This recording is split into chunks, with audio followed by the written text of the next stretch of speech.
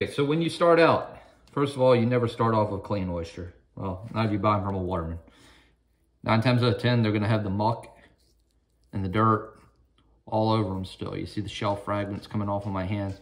All of that stuff makes for an appetizing meal. So we gotta knock all that off first. With lukewarm water, not cold, because if you do this long enough, you'll freeze your hands. So make yourself comfortable. Start by just simply rinsing the oyster. Knock off the sediment.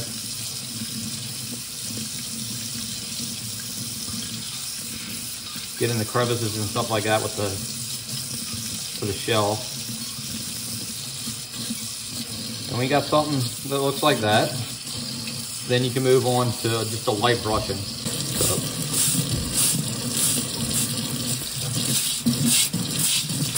again, just rinsing through the water. That water's getting a little hot, so knock it back a little. I'm just hitting the shell, get the dirt off. All right. Then you end up with this.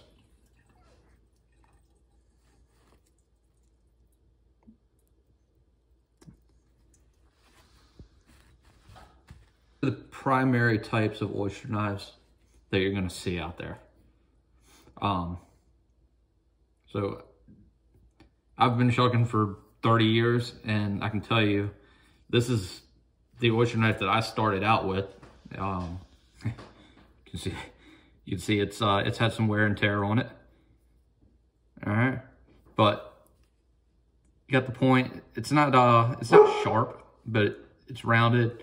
It's enough to, um, it's enough to cut that, that mollusk muscle that keeps them shut. Uh, really what you're trying to do with this kind of knife is you're, you're drilling. In fact, um, I think this knife might be called an oyster drill. Uh, what my granddad used to call it. I have uh, a little bit wider bladed knife. Um, again, they're not sharp on the outside or anything like that. It's kind of almost like a rounded concave surface. I don't know if you can really see that or not, but you can see it's kind of rounded. Almost has an edge uh, on each side like a knife, but it's not sharp. The only part that's really sharp is right here. That's uh, that's pretty good point. Now, I personally, this is not a knife that I'm really familiar with. This is what I would call like a clamming knife, but um, I just wanted to show it to you. So this is Victorinox, which uh, makes an awesome knife, period. Um, but I came across their oyster knife a few years back uh, at a restaurant and I had to have one. So I've been using this one for a few years now. Um, and again, it's got all the same kind of basic concepts, but I think it's uh, it's a harder steel. Um, you can take it to a stone and sharpen up the edges a little if you want. You can also get that point back by simply grinding. So I don't like to work with a super sharp point uh, with this kind of oyster knife. I kind of keep it a little bit dull. Um, Cause just, uh, just my preference. This is a toadfish and, uh, I gotta be honest, this has really, uh, been my go-to knife here lately. It's, uh, it's rounded like your traditional oyster knife. It's concaved. Um, you got you got your point. Um, I think it's it's definitely a hard steel, uh, harder steel that it's made of. It's got a lot of weight on the back end of it. As you can see, it's really ass heavy. So it falls down. Um, it just kind of, it just works in your hand. Um, and you can get a little bit of purchase on it. So, you know, like depending on whether you want to pry. The oyster shell is not um, not perfectly symmetrical or anything like that. So sometimes you've got angles that you've got to kind of adjust for.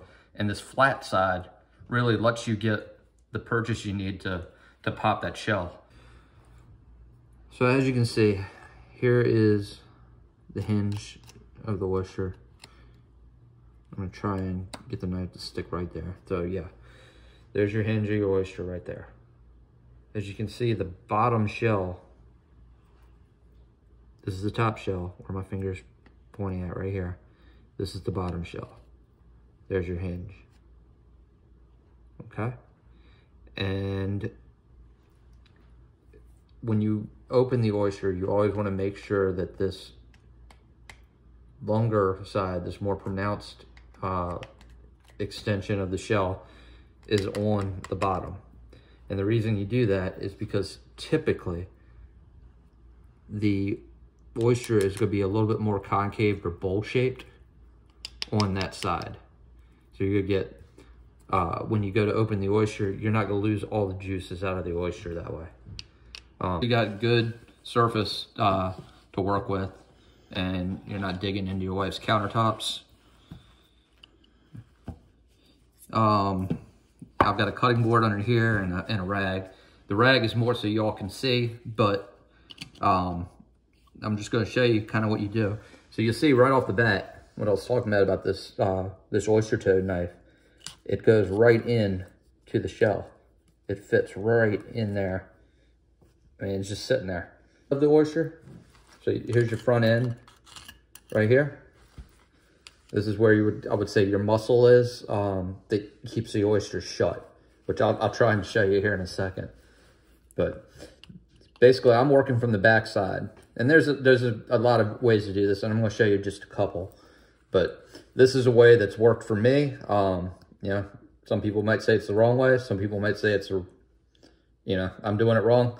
I don't know. It works for me. I've done it for 30 years and it's not been a problem. So uh, basically what you're doing first of all is getting that knife in there. I'm not using a whole lot of force. And then all I'm going to do is turn back towards myself.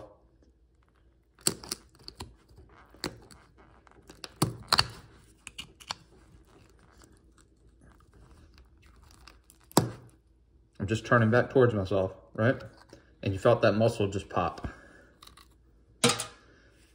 So, some of these shells some oysters, the shells are a little bit brittle. Um, so you got to kind of watch out for that. But the shells pop right here. And you can see just the weight of that knife is holding that oyster open right now. So I'll go, next step is to cut through that muscle. Again, this is not a knife in the traditional sense of being sharp. All you're doing though is getting in here, getting in there and just and then there you go, there's your oyster. See I'm using the Victorinox. Again, this is just a solid work tool right here. It's good. Uh, again, I'm to do the same thing. We'll find the hinge on the back of the oyster. There's the front of your oyster. You can tell it's, um, not all oysters have this scalloping, but on it's generally going to be your flat edge. Uh, and you can look at oyster. I don't know how else to explain it. That's the front of the oyster. This is the tail of the oyster. The tail of the oyster gets more narrow, I guess, is the uh, universal. I'll kind of get it in here and wedge it in. This oyster, I can already feel the shell starting to starting to break on me.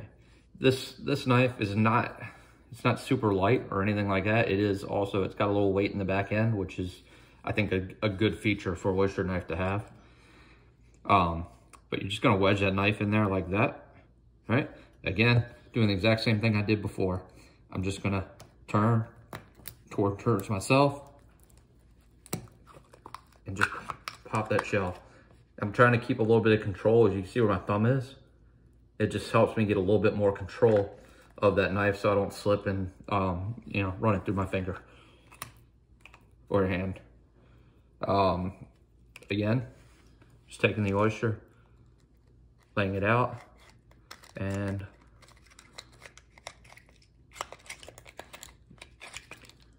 this is a real dull edge, so it doesn't cut well, you'll see, but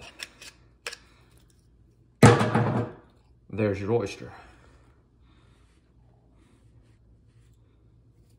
This one just, there's just not much of a, there's just not much of a hinge exposed at all. So in this I'm gonna just show you the way that I learned to open an oyster uh, originally anyhow. Uh, I really didn't use the hinge method until uh, I got a little bit older. But it's important, again, make sure your oyster's good and clean. As I did that, I saw some mud still right here. So we knocked that mud off. I'm gonna go ahead and hit my knife real quick. All right. So what I'm gonna do now is I'm gonna try and use this point, it's right here. It's got a little bit narrower of a point. I'm gonna use that point and try and work it into the shell. I'm actually drilling into the shell. All right? And then once I, I get to a certain point, I'm able to get that knife in there. I wanna get as much of that knife in as I can because I'm gonna, again, use that same technique of turning back towards yourself. I guess, uh, what would that be, counterclockwise?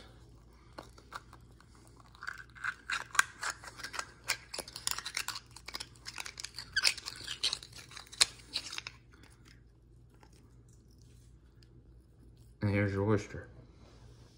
All right, and then finally, another one. It's got a hinge. Another one. It's got a hinge. Um, there's a couple different ways you could go about this one, but I just want to see, out of my own curiosity now, how this uh, this little wider one with point works out. I'm just one. Yeah, that's what I kind of feared it was going to do. It's got a little too much point to it and you're gonna break off the edge of the shell. That's a little bit worried about. Okay.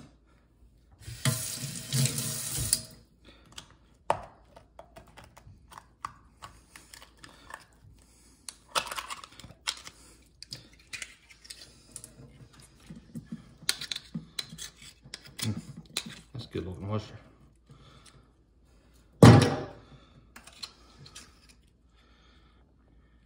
Uh, to finish up here, I'd say my favorite, you know, if I'm going to do the going in through the uh, uh, the hinge, I'm going to want to work with something like this uh, this uh, toadfish. This thing is just that's a, that's an oyster knife. That's what it's supposed to be. And the Victorinox, again, that would be my second favorite. And the thing that these two both have in common is just, they're weighted. They're weighted in the back end. They feel good in the hand. They feel solid. They're made out of good metal. Um, you know, it's a quality metal. I have no doubt that uh, that that metal will hold up and that I can put some real some real pressure on it to get the you know stubborn oyster open. Um, the oyster drill again is what I grew up with. Uh, this is just comfortable to me, and uh, it, it just makes for a good alternate knife. If you know, if, if it were me, I'd get one like this and one like this. Um, you know, this way you got you got them all covered. You can get into any oyster in the world with with these two tools. Uh, this, um, like I said, I eat clams too, and we open clams. I could see this being a good clam knife. Not my first choice for an oyster.